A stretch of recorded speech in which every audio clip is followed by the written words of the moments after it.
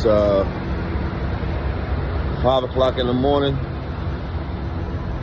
Well, 5.50 something now. I don't know But I'm up early in the morning, man. Thank God. Someone said, I said, man, thank God I'm alive. And he said, yes. You woke up on the, on the other side of the dirt.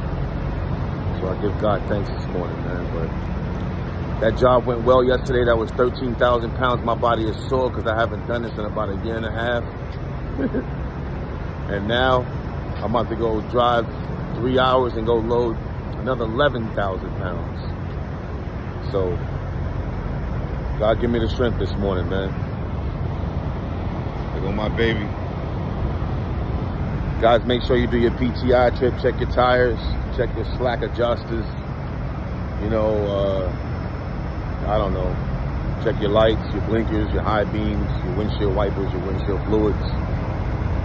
Make sure you attach because people detach your trailer and will have you dropped out here.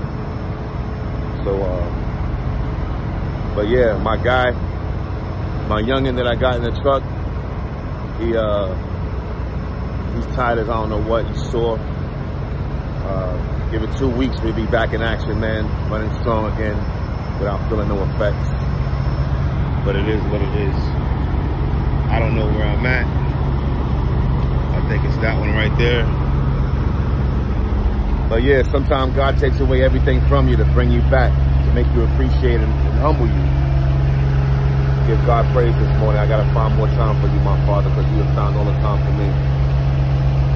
But uh, you guys have a blessed morning, man. Back to the hustle.